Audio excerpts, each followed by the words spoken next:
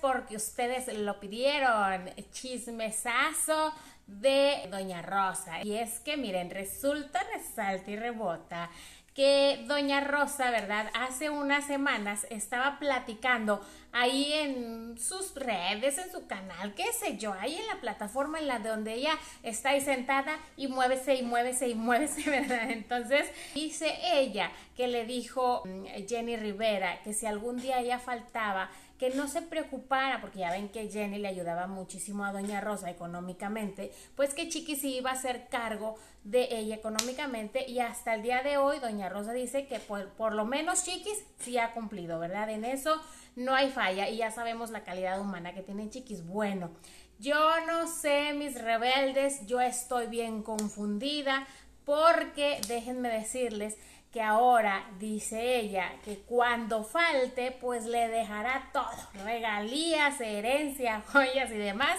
a Rosy Rivera. Ahora va, ¿y eso por qué? Si no nada más tiene una hija, tiene más hijos. Bueno, pues ella la explicación lógica que da, ¿verdad? Es que dice que el día que ella llegue a faltar le dejará todo a su hija Rosy, más que nada las joyas, que es lo más valioso que tiene, que no tiene nada más, no tiene mucho dinero en el banco, no tiene propiedades ni nada, pero sus joyas, las joyas que un día Jenny Rivera le regaló, pues se las dejará a Rosy. Y esa explicación lógica dice que ¿por qué Rosy? Bueno, pues porque, a ver, yo se los iba a dejar a mis dos hijas, una de ellas ya faltó, la otra queda, pues ni modo que le dé las alhajas, las arracadas, los aretes, los collares a mis hijos, ¿verdad? Y yo diría, ¿por qué no se las puede dejar? Digo, los hijos obviamente no se van a poner todo ese ajuar, ¿verdad? Pero sí se los pueden dejar de herencia a las nietas de Doña Rosa, cosa que ella no piensa, ¿verdad? Doña Rosa.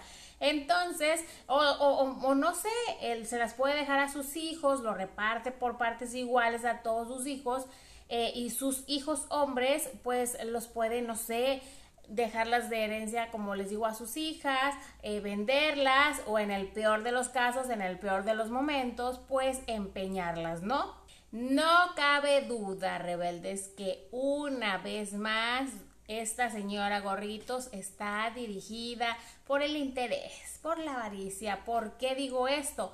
Pues porque acuérdense ustedes que cuando Jenny falleció, pues ¿quién se quedó al mando de todo?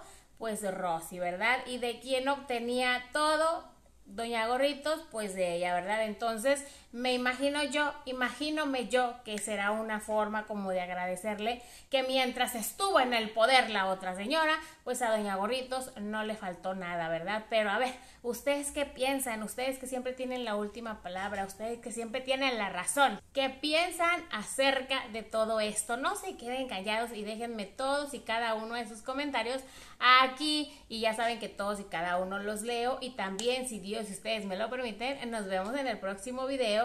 Tchau!